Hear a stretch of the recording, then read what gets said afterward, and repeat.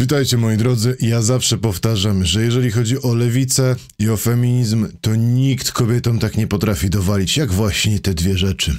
Dlaczego? No bo dzisiaj okazuje się na Facebooku, że gloryfikujemy coś takiego jak różowe skrzyneczki. Różowe skrzyneczki na Politechnice Krakowskiej z darmowymi podpaskami, tamponami dla studentek i pracownic.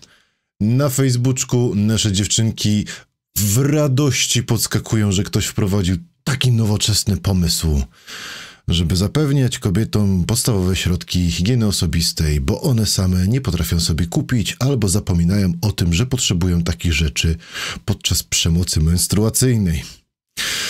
Które jest faktem. No jest to opresyjne narzędzie patriarchatu, że kobiety mają menstruację. Dlatego obowiązkiem społeczeństwa jest zagwarantować dostęp do środków higienicznych. No i Pewna pani polityk Zuzanna pisze coś takiego. Co myślą sobie ludzie, których taka informacja bawi? Pewnie chodzi o nas, normalnych ludzi. Czy w XXI wieku naprawdę dalej musimy robić tabu z zupełnie naturalnego tematu? Czy darmowy papier toaletowy albo mydło w toaletach publicznych też was tak bawią, a są równie niezbędne? Nie bawią nas, bo z nich oboje korzystamy. Obie płcie. Z papieru toaletowego, mydła, czasami ręczników, suszarek. Z toalet też korzystamy i z desek sedesowych. Mamy pisuary, mężczyźni, co jest opresyjną formą patriarchatu, bo sikamy na stojąco i to jest przejaw mizoginii i nienawiści wobec kobiet.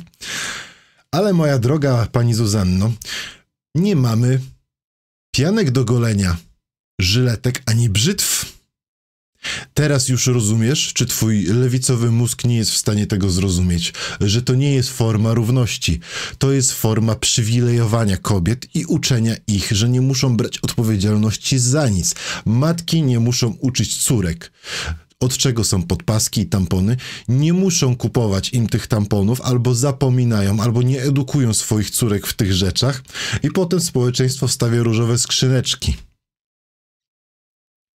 Kobiety są jak dzieci we mgle, a lewica im doskonale cały czas o tym przypomina, że nie muszą brać odpowiedzialności za nic, za własne zdania, za własne decyzje.